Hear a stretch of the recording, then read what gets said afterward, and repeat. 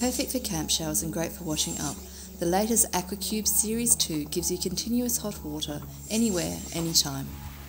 With integrated flow adjustment and maximum heating efficiency, the AquaCube is simply the must-have camping accessory for your next trip. The AquaCube comes with everything you need, including gas hose and regulator, shower head and water hose, pump and 12 volt DC power adapter, and a carry bag to keep everything safe. Operating the AquaCube is easy.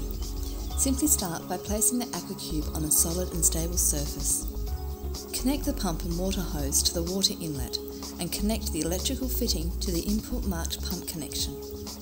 Then place the pump into fresh clean water and connect the gas hose to the gas inlet. Then connect the regulator to your gas cylinder. Now simply swing the water outlet from the side of the AquaCube and connect the shower hose. Make sure the power switch is in the off position and connect the power lead to the DC input before connecting the cigarette lighter fitting to a suitable 12 volt DC power supply. Now turn the water flow tap to maximum and ensure the shower head control is open.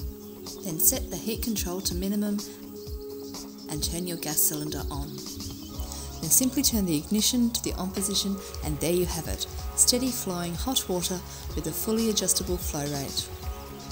If you wish to increase the water temperature, simply turn up the heat control to reach your desired level. With the AquaCube, the water temperature can be increased by 30 degrees up to a maximum temperature of 52 degrees Celsius. If the maximum temperature is exceeded, don't worry, the AquaCube has a built-in safety switch that activates when the water gets too hot.